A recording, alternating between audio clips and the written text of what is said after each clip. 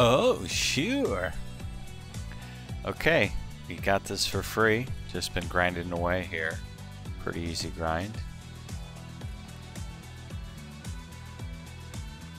I mean, all of these are pretty solid. Actually, I'm going to have to do a little bit of checking here. So Cancelo is going for 280. Grealish is going for 440. So it's got to be Grealish. Robertson is going for 175.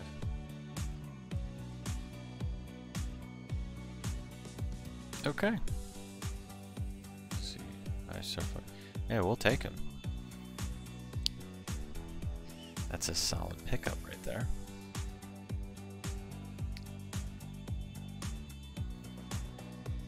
Here's the current squad. Don't know where Grealish will fit in, but we'll throw him on the end of the bench and figure that out later. And that's the video. Adios.